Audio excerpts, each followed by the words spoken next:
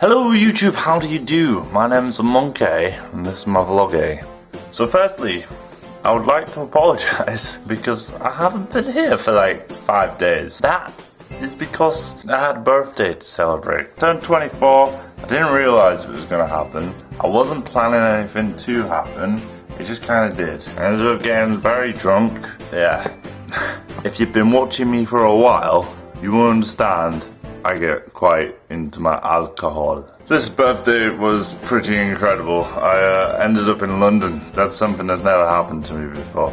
I have to tell you, and uh, this this this is pretty bad. Uh, I spent two hundred and ten pounds this weekend. That was just on the weekend, from the Thursday to the Friday, and then going on the weekend. I probably spent closer to three hundred pounds. I don't know how I'm gonna make that money back, but uh, yeah. Considering how much debt I'm in, that's probably a bad thing. Yeah, well, what are you gonna do? Life is short, so live it while you can. Yeah, you only get one chance at it, don't you, really? So you might as well just enjoy it. I think it's good that I do this because, you know, eventually when I have kids, I'll be able to teach them the right things to do and they don't end up like me. Because if they end up like me, they'll probably, well, they'll be me.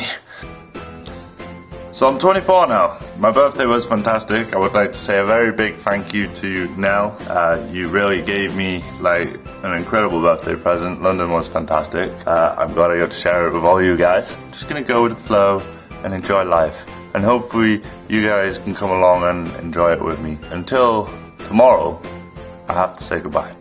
I've been a monkey, this has been my vlog. You know, I'm gonna close this vlog with my nose.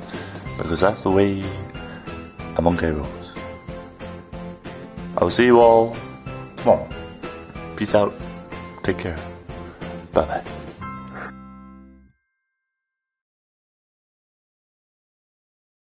Do you know what I also did? I didn't just spend all the money on stupid stuff.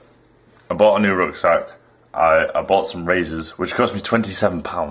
£27 for razors, just so I can have a normal shave. It's insane. Actually, they're the only sensible things I bought. I bought some deodorant, bought a lot of fast food, ate well. Yep. Because that's the important thing. Food. God damn it.